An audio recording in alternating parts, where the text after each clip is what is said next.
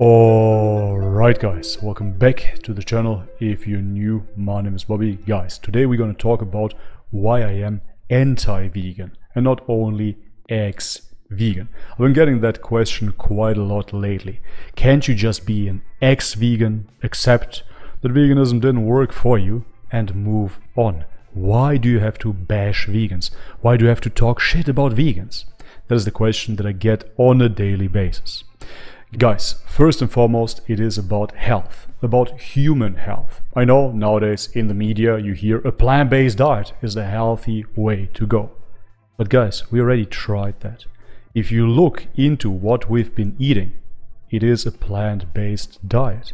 I know it's quite a shocking fact, people can't understand this, and I didn't believe it myself. But once you start looking into it, you will find out that most people already eat a plant based diet. We eat processed plants, absolute sugary, carby foods. Be it rice, be it sweet potatoes, be it processed fries, be it the cereal in the morning, all of those foods are our staple foods. We eat 70 to 80% processed plants. We already are on a plant based diet. Even if you look into the statistic of those blue zones, even the blue zones eat less plants than Americans. Yes, that is the case. We're eating a highly processed plant based diet. So, therefore, how can you claim by adopting a plant based diet somehow we will heal the planet? I am anti vegan for health. Veganism wrecked my health. Veganism wrecked my sister's health. Veganism wrecked my girlfriend's health. Veganism wrecked my friend's health. But hey, who cares, right? Guys, veganism wrecked the health of thousands and thousands of people online. For every little vegan troll comment that I get, I get hundreds of thanks comments on a daily basis of people that are reclaiming their health. This is why I run an anti vegan channel. I run it because it needs to be heard.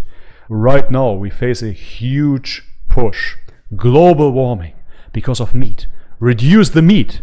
Even Arnold Schwarzenegger will tell you less meat, less heat. Yeah, of course. How? Please explain it to me.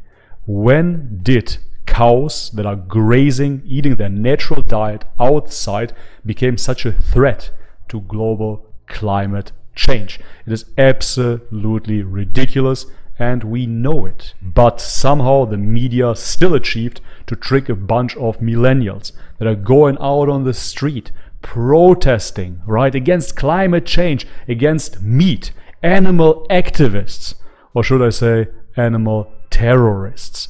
This is what we see nowadays. Absolute false news.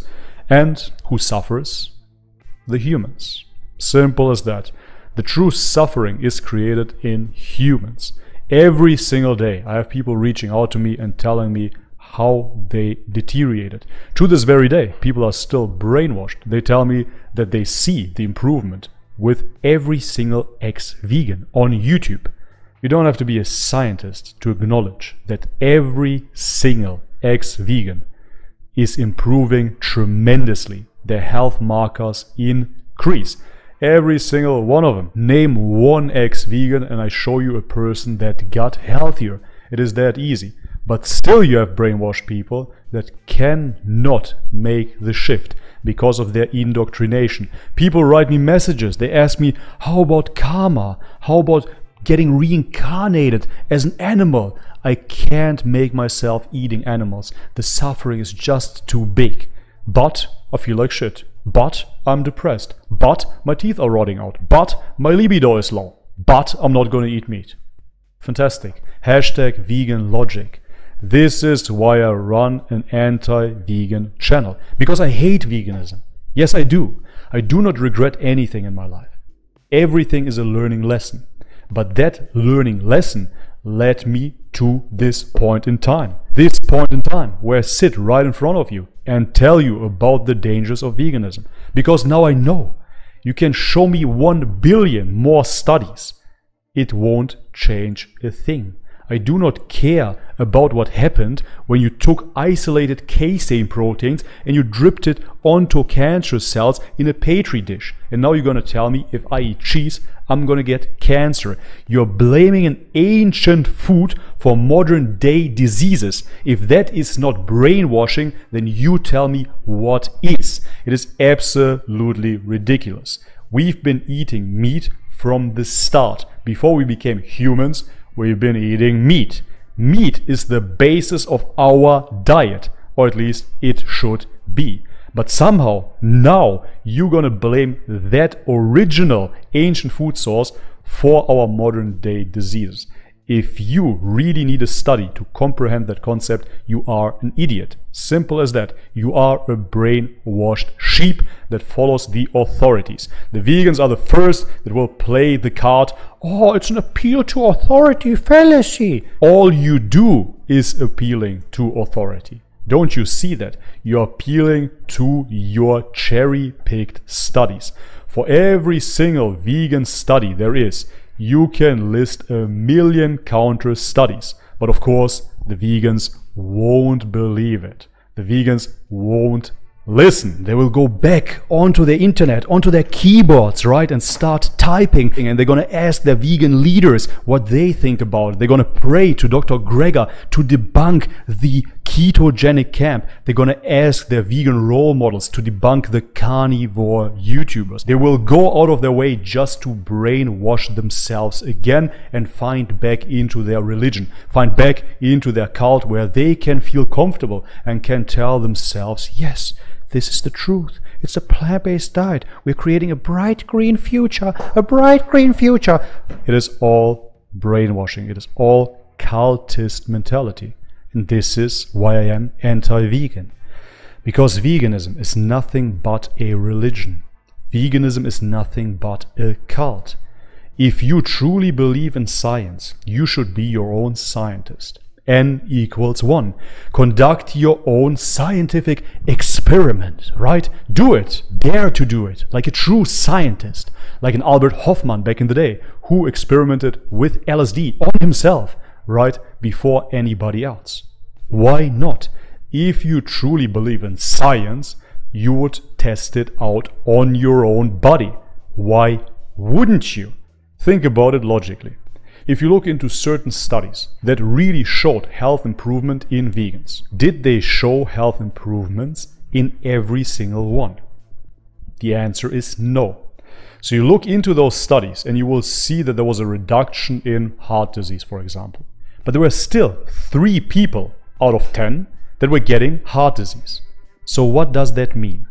How can the narrative that the vegan diet eliminates heart disease can hold true then. Can you follow me? I know this takes a little bit of brain capacity. It's kind of hard if you are depleted in DHA and EPA. However, try to listen.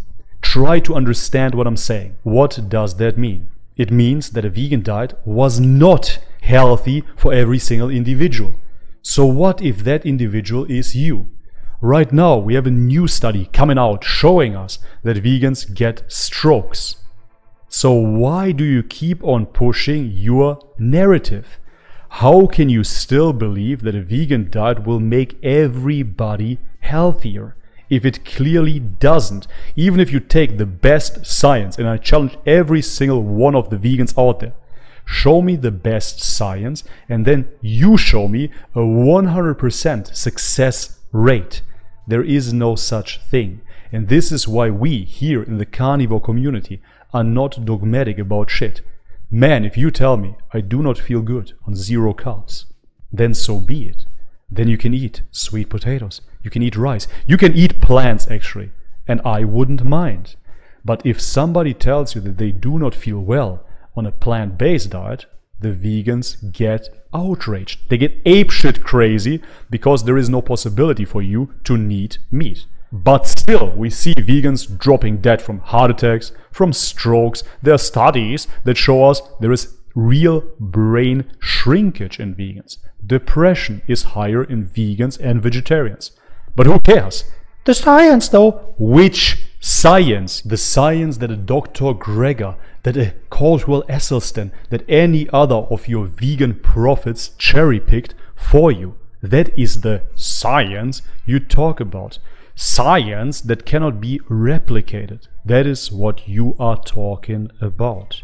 You're not talking about real science. There are just as many, if not more, scientific papers on meat consumption, but you like to choose those that fit your narrative. That is all. This is why I'm anti vegan.